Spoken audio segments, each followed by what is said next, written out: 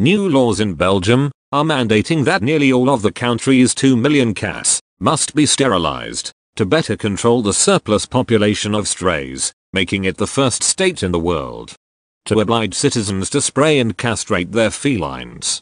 In a nation where cats once delivered the mail, as part of a bizarre experiment in the late 1800s, nearly 30,000 cats are abandoned every year, half of which are put to death due to overpopulation at cat shelters.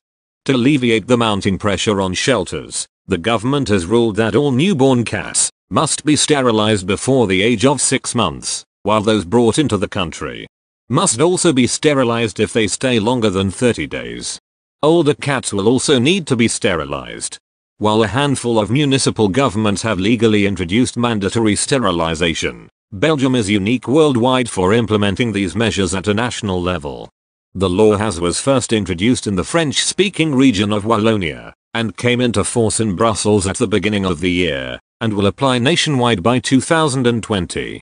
Animal shelters have already been required by law in Wallonia to sterilize stray cats over the age of 6 months since 2013, and now the measures are working their way into the city of Brussels and the northern region of Flanders.